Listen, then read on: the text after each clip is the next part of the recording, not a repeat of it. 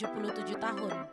Pemerintah Provinsi Papua melaksanakan jalan santai bersama masyarakat umum dimulai dengan pemanasan dasar yang dilaksanakan di Kalkote, Kabupaten Jayapura. Jalan santai dilepas oleh Wakapolda Papua, Brigjen Pol Ramdhani Hidayat, bersama Kepala Kesbang Pol Musa Isir Esos MPA.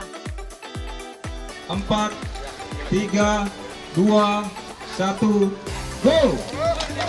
Start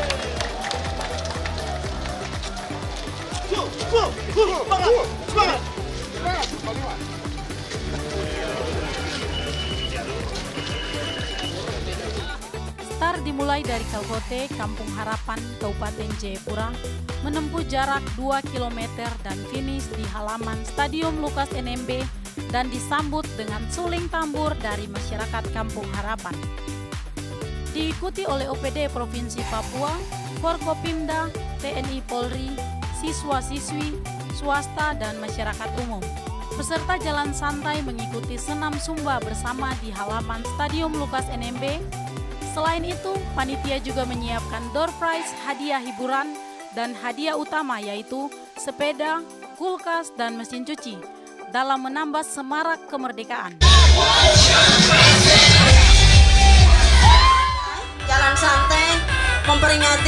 Kemerdekaan Republik Muhammad Musaat MSI selaku Ketua Panitia menyampaikan, launching pencanangan dimulainya seluruh aktivitas kemerdekaan. Semarak kemerdekaan sedikit berbeda karena pemerintah akan membagikan bendera kepada semua komponen masyarakat yang secara nasional diharapkan berjumlah 10 juta bendera.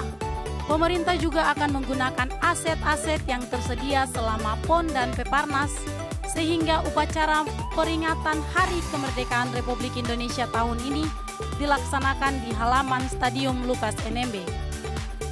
para peserta eh, yang telah ikut berpartisipasi pada kesempatan ini, baik teman-teman dari berbagai komponen eh, senam gerakan, ya, eh, apa namanya penyebaran bendera 10 juta yang sudah ditetapkan secara nasional.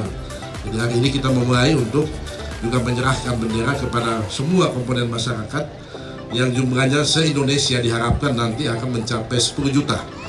Dan itu akan kita mulai di Papua pada pada hari ini. Dan pada akhirnya nanti kita akan uh, lakukan upacara bendera yang dipusatkan di sini, baik upacara uh, detik-detik proklamasi maupun juga penurunan benderanya. Ini semua dipusatkan di uh, Stadion uh, Lukas NMB dengan harapan ini akan memberikan suasana yang berbeda dan inilah menunjukkan juga sebagai Papua yang luas itu kita tidak hanya mengenal kota saja tapi juga kita mengenal uh, Kabupaten Jayapura dengan fasilitas yang uh, cukup memadai. Ketua panitia juga menambahkan, akan ada beberapa perlombaan juga aksi sosial seperti donor darah, mengunjungi pahlawan dan keluarga pahlawan yang ada di Papua, juga aksi vaksinasi, kegiatan yang akan dilaksanakan dalam memeriahkan semarak kemerdekaan. Semua kegiatan akan dipusatkan di halaman Stadium Lukas NMB.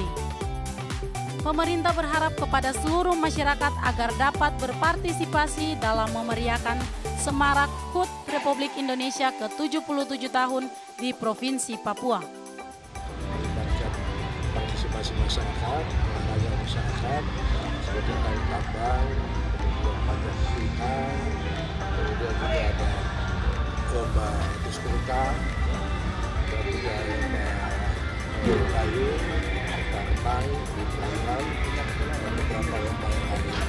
Selain itu kita juga melaksanakan kegiatan-kegiatan sosial, ada ke sana, pahlawan kita, pahlawan kita, dan juga ada dan pasti kita tetap ikhtiar dengan COVID, ada ada vaksinasi dan memberikan eh, bisa setiap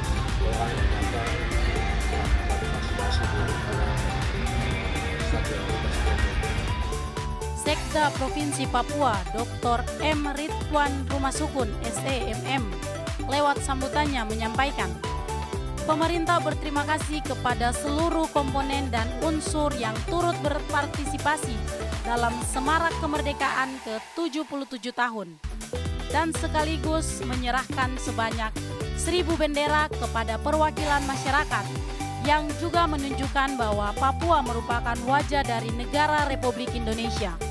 Sambutan terlalu lama itu.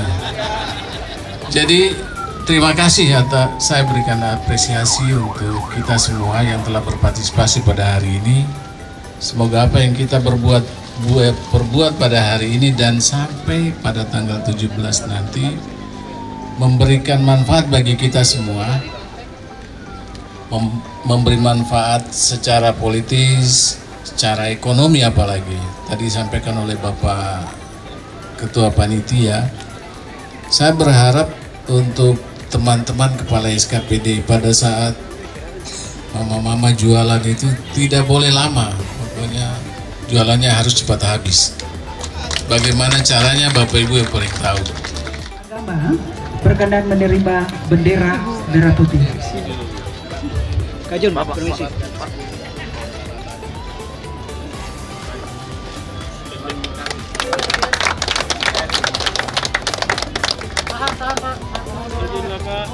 Oke. Bapak dan Ibu kita berikan tepuk tangan. Tuhan yang Maha Kuasa. Launching pada hari ini penyerahan penyerahan bendera. Dari Kabupaten Jayapura, tim AD Media Papua melaporkan. Bismillahirrahmanirrahim. Bapak dan Ibu kita berikan tepuk tangan yang meriah. Pencalonan pelaksanaan kegiatan